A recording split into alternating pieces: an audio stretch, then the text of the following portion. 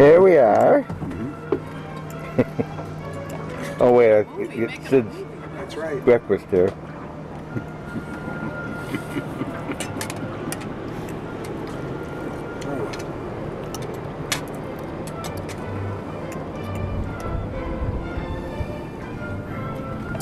So, Betsy Oppenneer's book is coming out. Did we talk about this last night? Yeah, and that's a neat idea that you had about um, having her do a signing I at just, Barnes I think I just need to call there and talk to the manager. Well, we could also do it. Oh yeah. Oh, Now, does Sharon, what's her face, still on there?